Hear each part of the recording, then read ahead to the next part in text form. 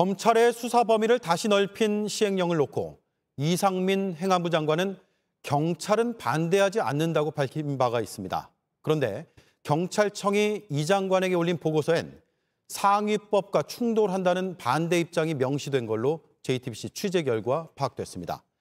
야당은 거짓 답변이라며 국감에서 따지겠다고 벼르고 있습니다. 이정 기자입니다. 이상민 행안부 장관은 지난 22일 국회에 출석해 검수원복 시행령에 대한 경찰의 우려를 일축했습니다. 검찰에서 수사를 안 해서 다시 경찰로 돌릴 때 그 기간을 지정을 해달라는 것이었고요. 그러면서 경찰이 시행령을 반대한 게 아니라고 재차 강조했습니다.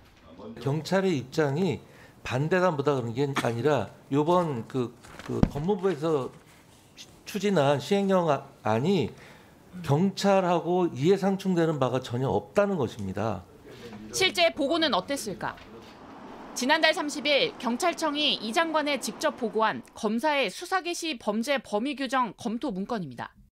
경찰청은 법에서 삭제된 범죄를 시행령으로 다시 포함해 상위법과 충돌한다며 위임 한계, 예측 가능성에 위배된다고 반대 입장을 명확히 했습니다.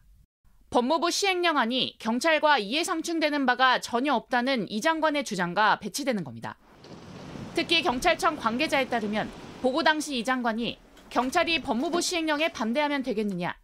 법률상 문제점 말고 실무상 부딪히는 문제만 다시 정리해오라는 식으로 지시했고 실제 관련 보고서가 추가로 작성됐습니다.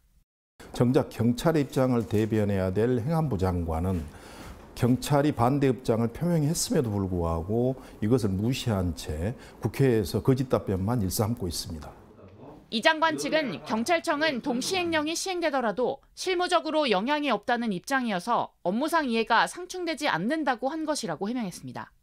또 행안부와 경찰청은 시행령 개정 사항이 상위법에 위반되는지 여부를 판단할 위치에 있지 않다고 밝혔습니다.